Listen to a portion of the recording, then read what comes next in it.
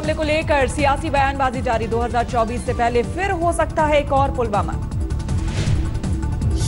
राज ने कहा, हमले में अपनी जान गंवाने वाले ज़्यादा सैनिक एससी, एसटी, ओबीसी समुदाय के। सोशल मीडिया पर राष्ट्रवाद का प्रचार करने वाले लोग अक्सर उच्च जाति के हाशिए पर खड़े समुदाय चुकाते हैं कीमत। उदित राज का ट्वीट जो लोग सत्ता पाने के लिए गुजरात में नरसंहार करवा सकते हैं, वो सत्ता बनाए रखने के लिए 40 जवानों की जान का सौदा भी कर सकते हैं। पुलवामा हमले की बरसी पर राहुल गांधी ने भी उठाए थे सवाल, हमले से किसे सबसे ज़्यादा फ़ायदा हुआ? पुलवामा हमले को लेकर राहुल गांधी ने सरकार को घेरा, पूछा, हमले से के बाद हुई जाँच का राहुल के हमले पर बीजेपी का पलटवार कहा कांग्रेस को है लाशों से सियासत करने की आदत। पुलवामा हमले को लेकर लेफ़्ट ने भी सरकार को घेरा, सीपीएम ने पूछा, कहाँ से आया था 80 किलो आरडीएक्स पाकिस्तान की तरफ़ से लगातार सीज फायर का उल्लंघन, कठुआ के हीरानगर सेक्टर में फायरिंग कल भी पुंछ में पाकिस्तान की तरफ़ से सरहद पार से फायरिंग में एक नागरिक की मौत, दो घायल। डॉक्टर कपिल पर एन से लगाने से भड़के ओवैसी कहा, डॉक्टर नहीं, ठोक देंगे वाले, बयान देने वाले, गोली जैसे बयान देने वाले सीएम देश की सुरक्षा के लिए खतरा। उमर अब्दुल्ला की नजरबंदी को लेकर सुप्रीम कोर्ट ने केंद्र सरकार से मांगा जवाब, दो मार्च तक का दिया वक्त। सुप्रीम कोर्ट ने केंद्र सरकार से पूछा, हिरासत में लेने की वजह, बहन सारा अब्दुल्ला ने पीएसए को लेकर डाली थी अर्जी। बीजेपी नेताओं के भड़काए भाषण को लेकर अमित शाह के बयान पर सियासत तेज आम आदमी पार्टी की तीखी तीखा हमला। उन्होंने क्या कहा था? ऐसा बटन दबाओ करंट साइन बाग में लगे। ये किसका बयान है? ये खुद अमित शाह जी का बयान है। तो एक हम लोगों के यहाँ कहावत है कि चोर से कहो चोरी करे साव से कहो जागत चेन्नई में सीए एनआरसी और एनपीआर के खिलाफ प्रदर्शन में बर्फा हंगामा पुलिस ने किया लाठीचार्ज। हटाने के दौरान पुलिस से प्रदर्शनकारियों की हुई तीखी झड़प, कुछ प्रदर्शनकारियों को हिरासत में लिया गया। पुलिस या कार्रवाई के खिलाफ चेन्नई में सैकड़ों महिलाओं ने दिया धरना। हिरासत में लिए गए लोगों को छोड़ने की मांग। कोयम्बटूर में बीसीए के खिलाफ लोगों ने किया प्रदर्शन। चेन्नई में लाठीचार्ज के खिलाफ लगाया जाम।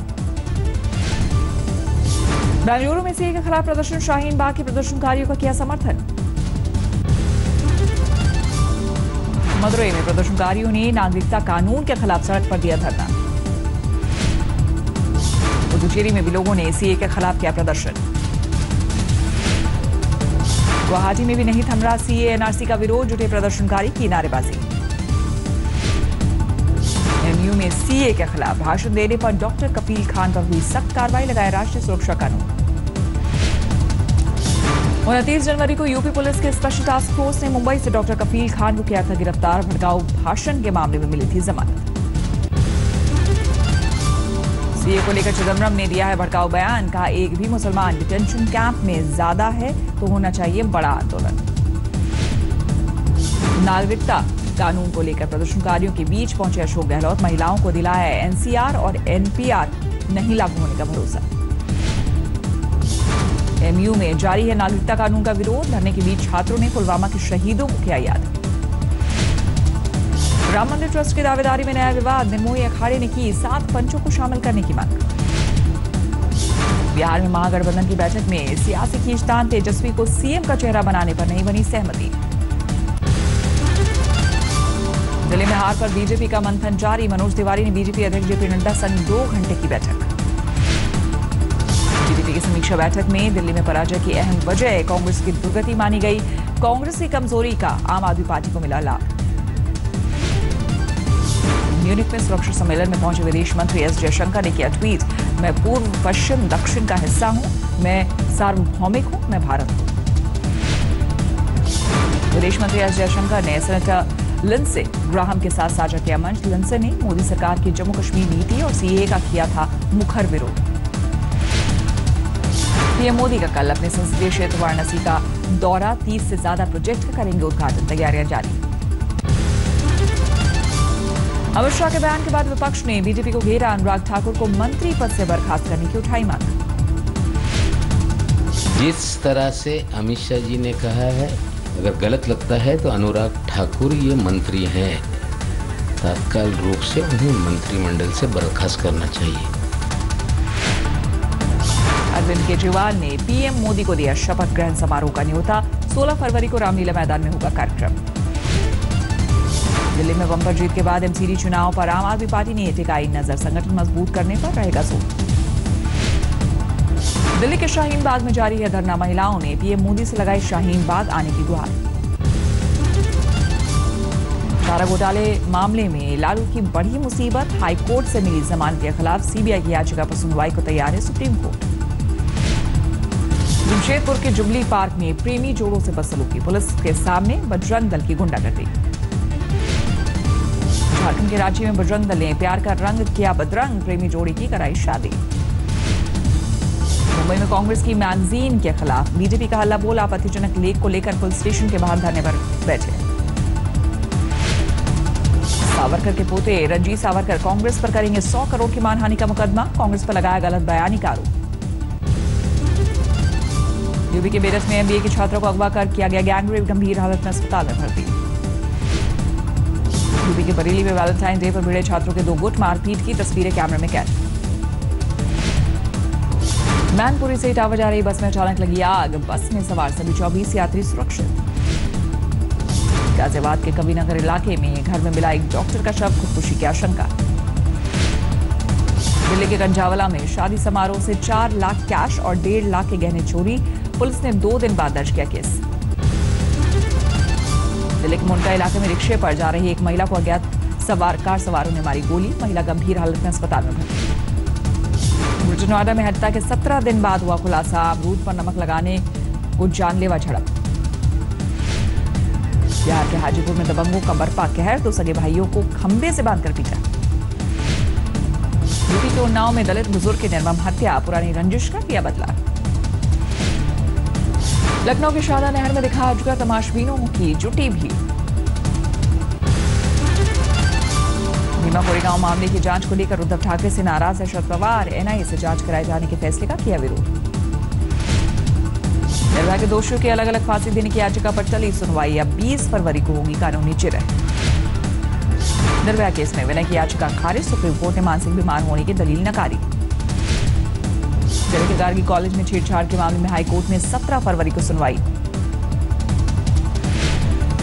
दिल्ली में यूथ कांग्रेस का प्रदर्शन, एलपीजी सिलेंडर की बढ़ी कीमतों का विरोध। लखनऊ में सड़कों पर उतरी कांग्रेस की महिला मोर्चा, एलपीजी सिलेंडर की बड़ी कीमतों पर प्रदर्शन। बिहार के आरा में कन्हैया कुमार के काफिले पर पत्थरबाजी, कई लोग घायल। जम्मू कश्मीर के पुंछ में आतंकी ठिकाने का पर्दाफाश, एक ए के सैतालीस ए के चौहत्तर राइफल और पिस्टल बरामद। दिल्ली में धोखाधड़ी गैंग का पर्दाफाश 12 करोड़ का चूना लगाने की कोशिश में दस गिरफ़्तार। दिल्ली में कैमरे में कैद हुई पुलिस के दो जवानों की जाबाजी, फायरिंग के बाद भाग रहे लुटेरों को दबोचा। भड़काऊ भाषण देने के आरोपी डॉक्टर कफील खान पर यूपी पुलिस ने लगाया एनएसए। अभी रहेंगे जेल में। यूपी के हाथरस में मातम में बदला जश्न। सगाई समारोह के दौरान फायरिंग में एक शख्स के सिर में लगी गोली। बिजनौर में पति ने अवैध संबंधों के शक में पत्नी को मारी गोली। थाने जाकर किया सरेंडर। बागपत के बड़ौत में कॉलेज के मैनेजर की गोली मारकर हत्या। तीन छात्रों की तलाश में जुटी पुलिस। देहरादून में मोटरसाइकिल सवार दो युवकों की मौत, तेज रफ्तार से, बिगड़ा बैलेंस। ऑटोमेशन से भारत में 9 फ़ीसदी लोगों पर मंडराया बेरोजगारी का खतरा। आईएमएफ की रिपोर्ट में जताई गई आशंका।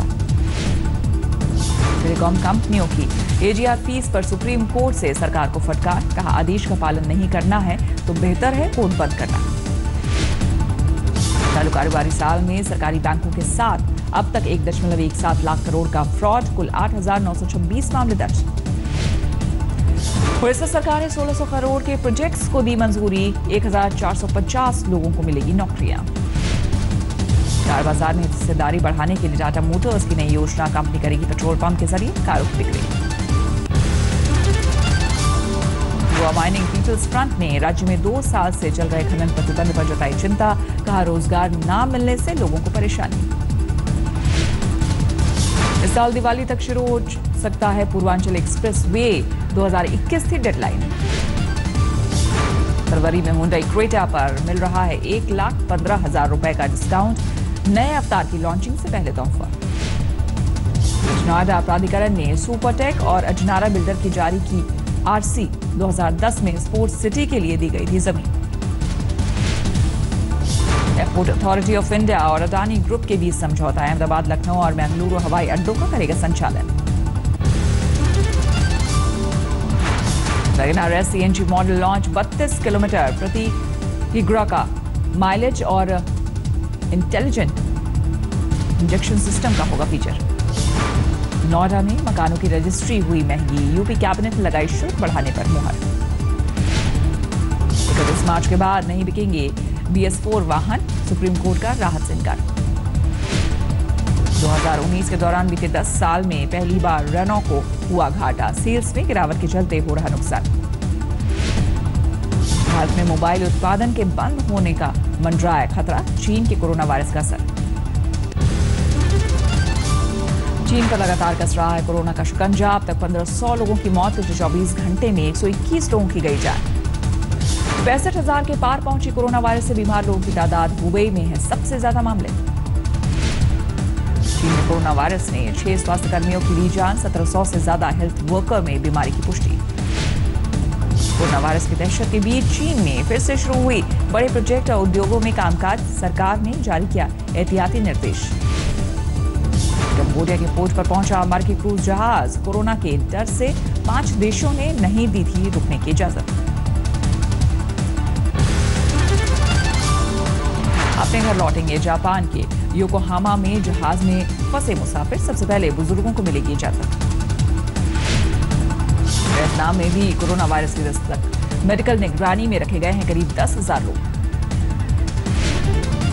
कोरोना वायरस से जंग लड़ते चीन को थाईलैंड ने भेजा वैलेंटाइन संदेश। तीन हज़ार छात्रों ने निकाली रैली। टर्की और सीरिया के बीच लगातार बढ़ रहा है तनाव। टर्की ने सीरियाई बॉर्डर पर की टैंक और तोपों की तैनाती। सीरिया में विस्थापितों पर दोहरी मार। इदली प्रांत में जंग के बीच भारी बर्फबारी, टेंट में रह रहे लोगों की बड़ी मुश्किलें। भेदभाव और भ्रष्टाचार के खिलाफ इराक में महिलाओं का बड़ा प्रदर्शन, बगदाद की सड़कों पर सरकार के खिलाफ हल्ला बोल अमेरिका के पूर्वी कैंटकी में पटरी से उतरी मालगाड़ी हादसे के बाद ट्रेन से गैस रिसाव की वजह से भीषण आग। ऑस्ट्रेलिया में आग के बाद मंडराया बाढ़ का खतरा, कई इलाकों में भरा पानी। के कई इलाकों में बारिश ने बढ़ाई लोगों की मुश्किलें, पाँच लोगों की मौत की खबर। ग्लोबल वार्मिंग से पिघल रहे हैं अंटार्कटिका के ग्लेशियर, समुद्र में तैरते दिखे बर्फ़ के विशालकाय टुकड़े।